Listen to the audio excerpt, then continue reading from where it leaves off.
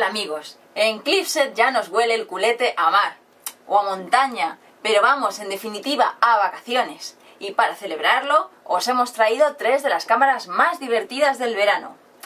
¿Por qué? Pues porque aguantan polvo, arena, caídas, hielo, si vais a algún sitio un poquito gélido, e incluso agua. Vamos a empezar con la más elegante y la más ligera, la Sony TX10 tiene 16,2 megapíxeles y su objetivo es un 25-100 milímetros. Es bastante angular, pero lo que no tiene es mucho zoom. Es todo pantalla táctil, 3 pulgadas, desde donde se maneja toda la cámara. Es poco útil si vas a hacer mucho submarinismo, pero a cambio evita tener un exceso de botones. La puedes sumergir hasta 5 metros y aguanta caídas de un metro y medio. También puedes hacer fotos en 3D. Sí, sí, lo que pasa es que necesitarás una tele en 3D para poder verlas. Y tiene un modo macro impresionante de hasta un centímetro. Graba vídeo Full HD y es perfecta para un uso combinado. Es decir, te la llevas a la playa y haces tus fotos acuáticas o directamente la limpias un poquito y te la llevas de copeteo a las mejores fiestas. Lo que no sé yo es si la arenilla de la playa no llegará a rayar el objetivo de tanto cerrar y abrir la tapita. Por otro lado tenemos la Fujifilm XP30, la más divertida de todas. Tiene 14 megapíxeles y su objetivo es un 28-140 milímetros, el zoom más largo de todos. Su pantalla es de 2,7 pulgadas, pero esta vez no es táctil.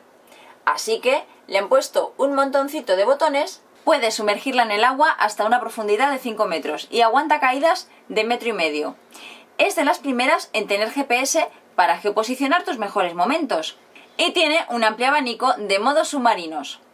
Su ISO va de los 100 a los 6400 forzados, cuando el resto de las cámaras solo llega a los 3200. Quizá su punto más débil sea el vídeo, pero a cambio es la cámara más económica y también la más ergonómica. Por último, pero no por ello menos importante, tenemos la Panasonic Lumix FT3, que es la más blindada. Tiene 12 megapíxeles y un objetivo que va de 28 a 128 milímetros. Aguanta caídas de hasta 2 metros. Vale, esto no son 2 metros, pero vamos, que os podéis hacer la idea de que tampoco se os va a estropear mucho. Es la que más aguanta, hasta 12 metros de profundidad.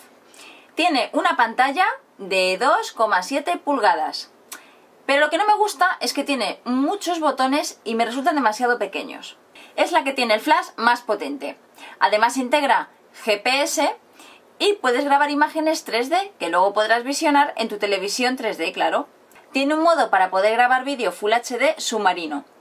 Pero la calidad de sus imágenes no es la mejor cuando hay poca luz.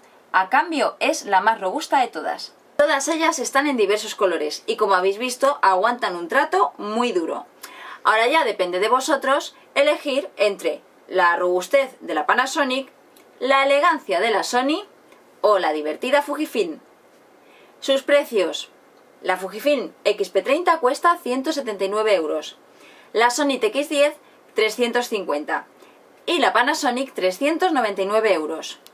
Pero ojo, que sean tan robustas no significa que no necesiten de cuidados, así que tenéis que limpiarlas bien de cada uso y atender a todas las instrucciones de la cámara.